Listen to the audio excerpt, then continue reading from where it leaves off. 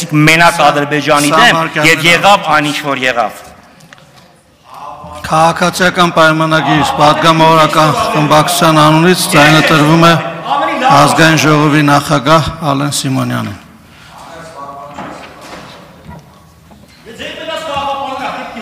Բան խաչատրն, դե ավարտեք ելույթը։ Դե ակնհայտ է, էլի, որ ուզում եք ամեն ինչ անեք, որ Հայաստանին ներքաշեք պատերազմի մեջ, խաղապաներին բերեք, խաղապաներին բերեք, հետո գաք ասեք նախկին իշխանությունները դե այնց վիճակ ստեղծեցին, որ հիմա ուզած չուզած մենք մենակով մեր անվտանգությունը չենք կարողանալու ապահովենք։ Ստեղծեք մի իրավիճակ, որտեղ որ կարողանաք Հայաստանի Հանրապետությունում իշխանապողություն իրականացնեք։ Ընդհանրապես իշխանապողություն իրականացնելու համար կարծում եմ որոշ մարդիկ պատրաստ են հոգիները վաճառել, որոշներն էլ արդեն վաճառել են եւ ոչ միայն հոգիները, այլ նաեւ ինչ որ հնարավոր է վաճառել։ Եվ զարմանում եմ, որ մտածում եք, որ Հայաստանի Հանրապետության ժողովուրդը սեպտեմբերի 27-ից տեղի ունեցած դեպքերից հետո չի հասկացել ու չի հասկանում ինչա տեղի ունենում, թե որ ուժերն են ուղղորդվում, որ ուժերն են ուղղորդում, ինչի համար են ուղղորդում։ Նպատակը Հայաստանի Հանրապետություն չունենալն է, կամ ունենալ մի հատ միավոր որևիցե կազմի մեջ, ասենք Ռուսաստան, Բելարուս կազմի մեջ, որը որ կունենա հպատակ իշխանություն, ոնց որ 30 տարի եղել է, որ զանգում էին, սպասում էին տնային շնորհավորելու է, թե չի շնորհավորելու, որ ընտրությունները կեղծում էին, որտեվ գիտեին, որ հեսա մեկը իրան շնորհավորելու են, իրանք էլ հավերժ մնալու էին իշխանությունների, որ բանակը թալանում էին, վեր են կենում գնում են հիմա, բա բանակը որ թալանում էիք, որ գալիս էիք այն մարդկանց հետ, ովքեր ուազներով մարդկանց ուտելիքները, զինվորների ուտելիքները կանսերվեքը գողանում էին, այդ մարդկանց կողքը նստում, հետները քեֆեր էի կանում, հետները ընտրություններ էի կեղծում,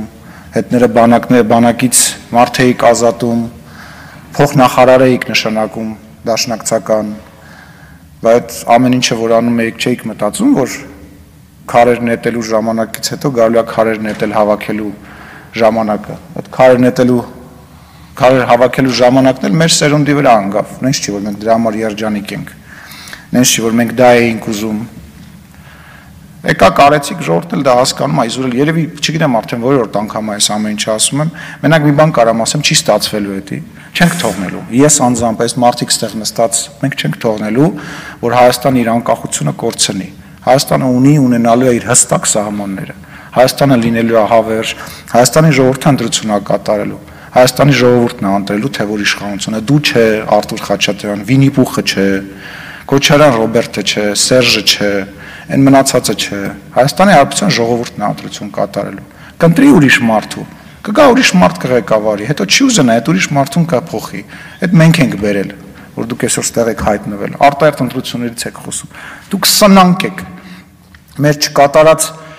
բաներից եք խոսում։ Դուք սնանկ եք, ոչ ասելիք ունեք, ոչ դեմք ունեք, դուք դեմք չունեք, որով կարող եք հանդես գալ։ Իրար մեջ խոսում եք, ասում եք, դե լավ, դու մի երևա քեզ չեն սիրում։ Այս անգամ դու մի արա, արի պարկեշտ մեկին գտնենք, բերենք եւ այդ պարկեշտ մարդու միջոցով հանդես գամ։ Ընդունում եք, որ դուք պարկեշտ չեք։ Ընդունում եք, որ դուք չկաք, թե որպես քաղաքական գործիչ, թե որպես ՀՀ քաղաքացի։ Սնանք եք, եկել եք արտահերտ ընտրություններից եք խոսում։ Այդքան մանդատները դրեք, դուք կարաք մանդատ դնեք, իրար մեջ պաշտոնի համար այնքան կգզրտվեք, բանա, աղմուկը բան, միջև եսիմուր կհասնի։ Մանդատ դրեք, արտահերտ ընտրությունների, կարանք 10 ամիսը մեկ տանենք ձեզ արտահերտ ընտրությունների հաղթենք բերենք։ Ուղղակի այս ժողովրդից մենք պարտավորություն ենք ստանձնել։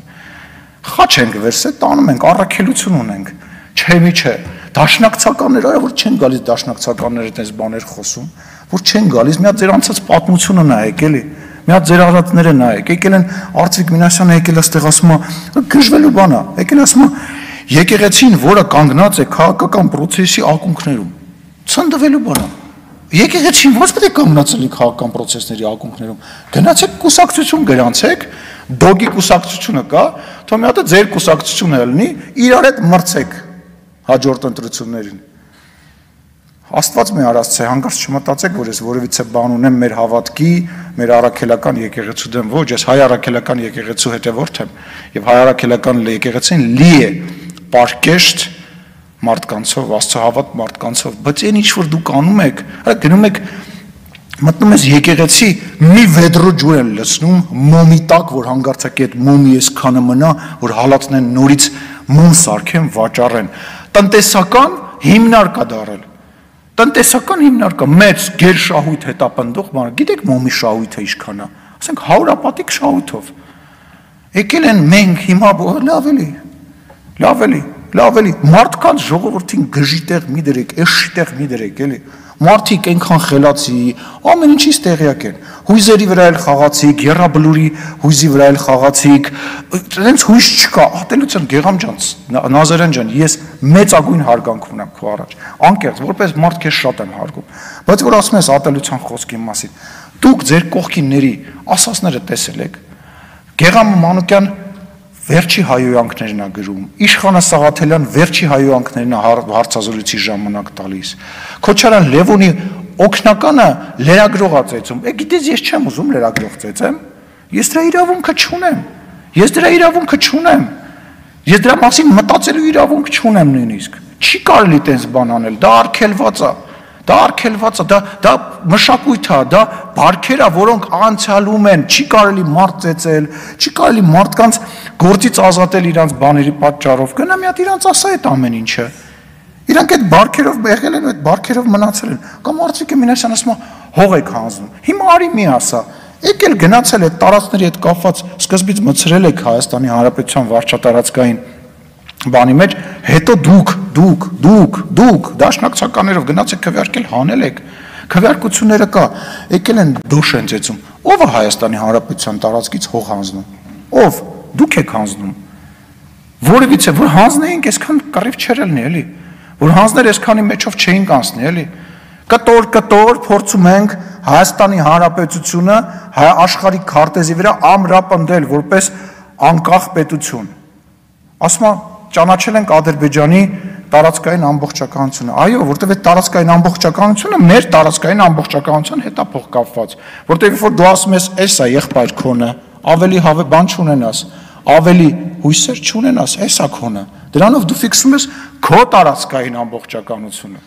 Ասում ես, «Էս քոնն է, էս իմն է»։ Երբ որ մենք տավուշում սահմանազատում ենք անում, ասում ենք, «Էս քոնն է», որտեվ դաշնակցությունն էլ է քվեարկել դրա համար Սերժենքել են քվեարկել դրա համար։ Ասում ենք, «Էս քոնն է, քոնն է, բոլորը գիտեն, դա ապրող գյուղացին է գիտի, որ էնի քոնն է»։ Էսի իմն է։ Այո, այո, համաձայնվում ֆիքսում ես։ Ինչա ձեր ուզածը։ Ինչա ձեր ուզածը։ Չեք խափելու ժողովրդին, չեք խափելու մեզ, Ներողություն եմ խնդրում, Տիկին դատախազ ելույթս քաղաքական ստացվեց, անդրադարձ չկատարեցի, մի մի անդրադարձ ունեմ ընդհանրապես, ինչի Վինիպուխը եւ իր փուչիկները միջև հիմա բանտում չեն, բայց վստահ եմ, որ դա էլ է ժամանակի հարց, որտեղ այդ Վինիպուխները, այդ կաշառակերները, այդ թռած, արա երկքաղաքացի նստում էին, գալիս էին, նստում էին ազգային ժողովում, կեսից շատը երկքաղաքացի, Ռուսաստանի քաղաքացի։ Որը ինչ հայրենասեր եք դուք, այդ էր ձեր հայրենասիրությունը։ Հիմա էլ մեկն էլ Կանադայի քաղաքացի է, էսի ի՞նչ է։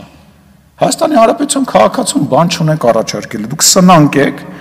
Եթե ասում եմ արտահերտ ընտրություն եք ուզում, հարց չկա։ Դրեք մանդատները, տենամ կարում եք մանդատ դնեք։ Դուք ձեր պարտավորությունները ձեր ընտրողների առաջ կատարել եք, ատելության խոսքից եք խոսում, հələ ձեր խոսքին հետևեք։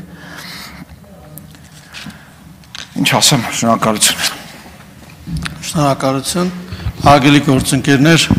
ելույթների հատվածը ավարտվեց, այժմ եզրափակիչ ելույթի հնարավորություն ունի գլխավոր դատախազ Աննա Վարդապետյանը, համեցեք։